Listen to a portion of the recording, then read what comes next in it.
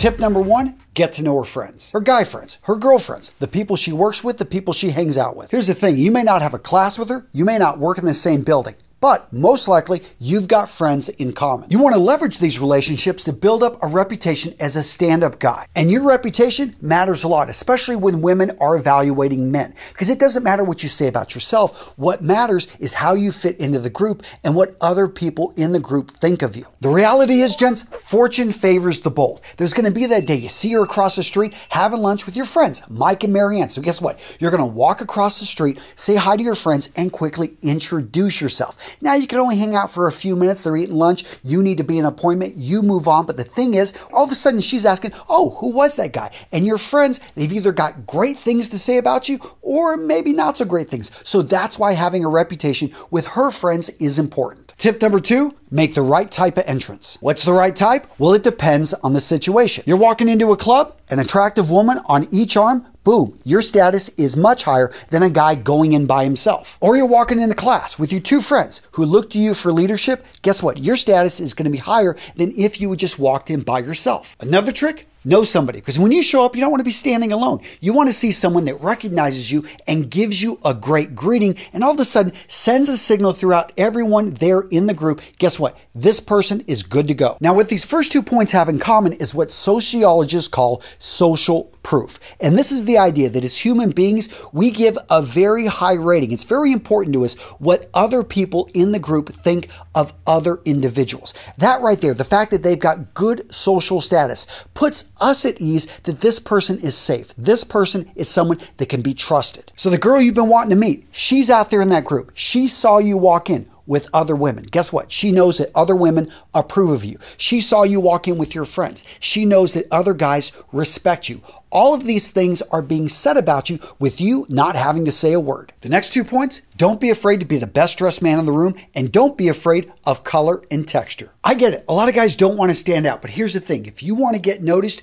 you have to, by definition, stand apart from all the other guys out there. This jacket does nothing but make me look better. It builds up the shoulders, makes me look taller, and slims up the torso. And let's talk about the power of color. Color matters. Color grabs our attention. Why? It's a natural phenomenon. We look in nature. We look at flowers. They leverage the power of color. Color draws us in, and you better believe women notice it, other men notice it. It's just something that grabs attention and helps you stand out from the crowd. And I get it. Sports jackets may not be your thing, but look at other options. This green suede right here, Every time I wear this, I get compliments. Not versatile enough for you? Then go for a classic menswear essential that's never going to go out of style and pay attention to the fit.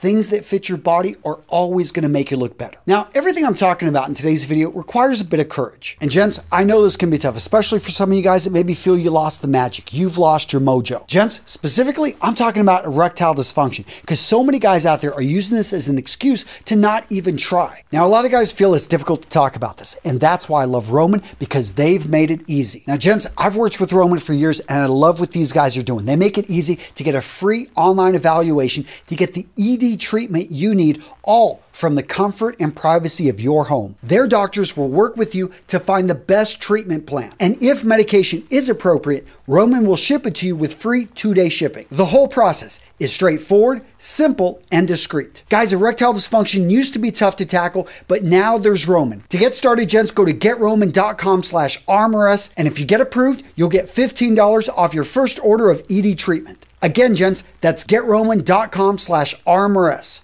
Next up on the list, acknowledger. So guess what? You've had that introduction. Yes, it was brief, but you remember her. Of course you remember her. And you want to show that you remember her. So know her name and whenever you're walking by, say hello. If it's maybe across the room, you may have to go a little bit out of your way, but you know, try to make some eye contact, give her a nod. The point is, you want to acknowledge her and let her know that she is on your radar and, uh, you know, just get her thinking about you. Next up, gents, smile and make eye contact. The funny thing is, as grown men, so many of us don't know how to do this anymore. We've grown up and society has told us, don't make eye contact, be serious. But if you go back to being a kid, what did you enjoy? I mean, when you saw somebody, you said hello. You greeted people. People can't help but feel elated when they smile. You want to get back to that point, and this needs to be genuine. And you can't just simply say, hey, I'm going to do it when I see her. If you're not practicing, then you're not going to be able to do it when you want to do it. So that's why I highly recommend that you start making more eye contact with just people in general. Practice before you need it. Practice just simply giving people smiles. Doesn't cost anything, and you're going to find that actually it makes other people smile. It's going to become normal procedure for you. And guess what? All of a sudden, when you see her, you're going to naturally make eye contact and give her a smile, and that's when the magic's going to happen. Next on the list, don't be afraid to make a little bit of a fuss. What you want to show is that she's worth it, that you want to look your best, and it's a small detail, but it's something that women pick up on. They got great peripheral vision. So she's walking by, you straighten up your necktie, maybe run your fingers through your hair. Right there, you're simply saying, hey, you are someone I want to impress and I want to look my best, and she may take notice. And another quick tip make sure to stand up straight. Roll those shoulders back. Women love a man with good posture. Now, what if you're walking by her? How do you stand out? An easy way is to develop a signature scent. Here's the thing is that most women have a better sense of smell than men in general. They're going to pick up on things. And if you've got a scent that is yours, one that separates you from all the other guys out there,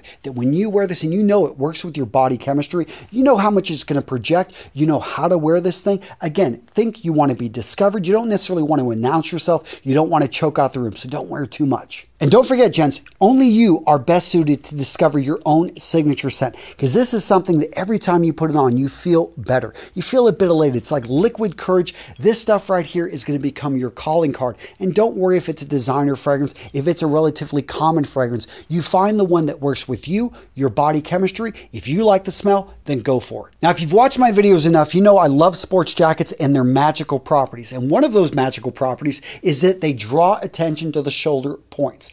Here's the thing when you're walking past her, you're going to be strutting your stuff. Basically, you are going to move your shoulders more than normal. This is something almost all men do when they're trying to impress a woman. Women pick up on this as well. But when you're wearing a jacket, it makes the strut look even better. That's what I love how the silhouette is cut. It just makes you look stronger, more masculine. So if you're going to walk by, wear a jacket. Now, what if you get a little bit close? How can you get her to like you without saying anything? First up, understand the power of mimic, and this applies to any time you're engaging with somebody. Look at their body language and don't be afraid to mimic it because what you want to do is send the same signal that they are. So if they've got an open stance or if they've got a little bit of a closed stance or if their feet are in a certain way, well, if you're listening to them, they're doing most of the talking, don't be afraid to mimic their body language, they're not going to pick up on it. And what's going to happen is they're going to say, oh, this person is like me, and they're going to be more likely to open up and trust you. Next up, don't back down. And what I mean by this is if she enters your personal space, understand that's your definition of personal space. Some guys,